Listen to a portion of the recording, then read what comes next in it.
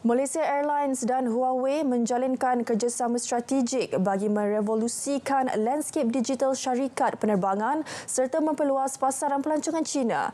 Menerusi kenyataan, syarikat penerbangan itu berkata kerjasama itu dapat mengetahui cita rasa pengembara dengan lebih dalam dan menganalisis pasaran dengan lebih berkesan.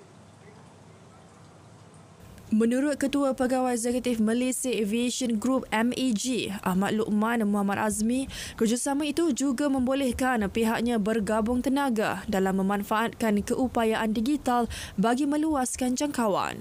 Sekaligus memberikan pengalaman yang baik kepada pelanggan dan penyelesaian inovatif sesuai dengan keperluan pasaran.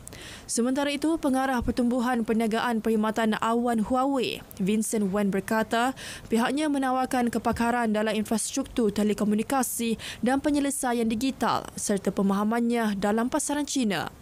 Justru gabungan kepakaran kedua-dua pihak memanfaatkan kehebatan teknologi, kepakaran pasaran dan peluang menerajui lanskip pelancongan China.